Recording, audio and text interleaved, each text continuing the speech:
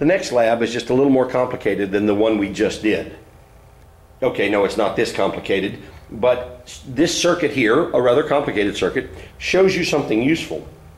It was built on something called a breadboard. See that white thing on the bottom that all the components are shoved into? It's got a bunch of square holes in it. We're going to use one of those in our next circuit, and you need to know how all those little square holes are connected to each other. Um, so here is one without any goodies on it, and here's one I blew up and drew some circles on. Um, this shows you what is connected to what else. That is um, all along here, all the way across here, all of those behind those holes, there's a piece of metal runs that way.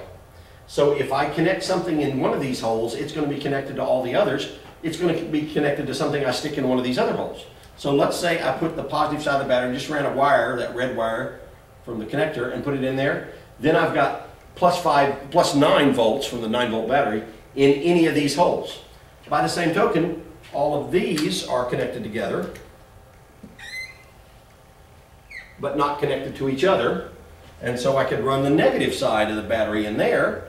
Um, I know that red is positive, but that doesn't matter in this case. So anywhere along here, I got the negative side of the battery, zero volts, and anywhere on this row, I've got plus nine volts. Now, there's a, down at the bottom, there's another section looks just like it. There's two sections in the middle that are like, that are similar to each other, except the holes run up and down. So these are all connected, and those are all connected. They're not connected to each other, but they're connected like that.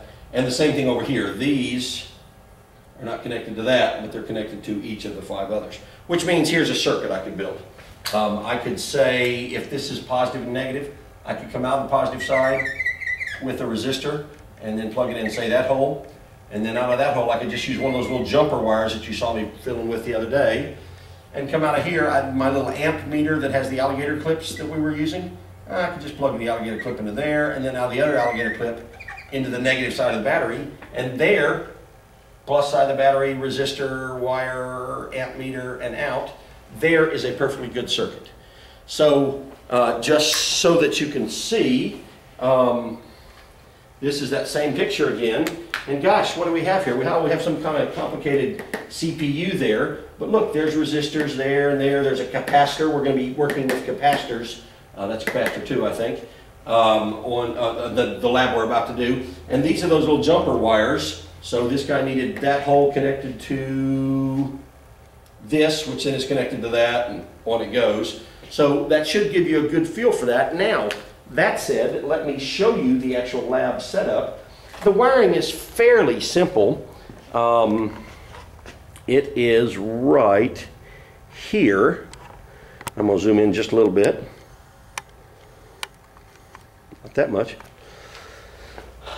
When you get in, I'm going to have the battery already connected to these. The battery leads tend to fall out, so I put them in there and put a piece of tape on them.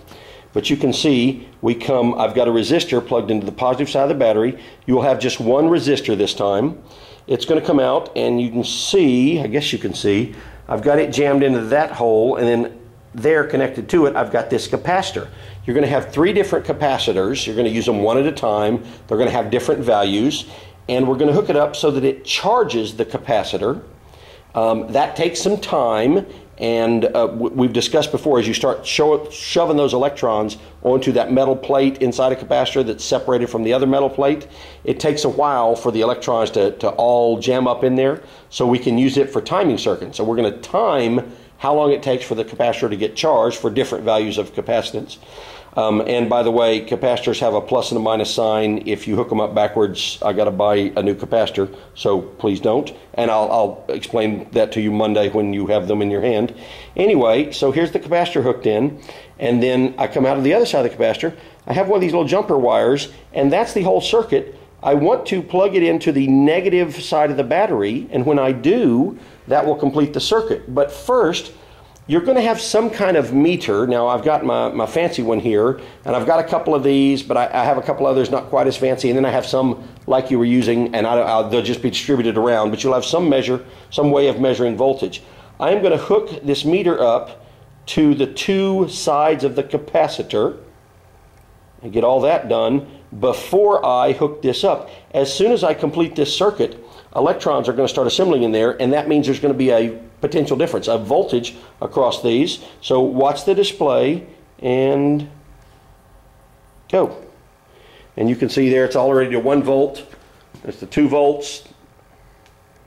So it starts charging up immediately. What we're going to do is we're going to uh, get a stopwatch and we're going to measure how long it takes for that to for it to become fully charged and we're going to record all that and do some graphs and make some conclusions from that so um, should be a fun lab. You now know everything there is to know uh, to be prepared. Um, if you need to go back and review how those lines are connected on the circuit board because there won't be time to redo that.